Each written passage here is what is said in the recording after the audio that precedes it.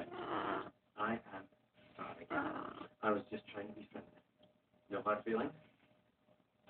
An apologetic hug. And a quick kiss goodbye. Oh, ow!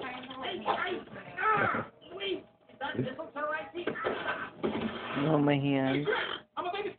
Oh, you hold my hand. Where did we find that guy? After years of fighting, oh. I'm very No, who's a kid? I am.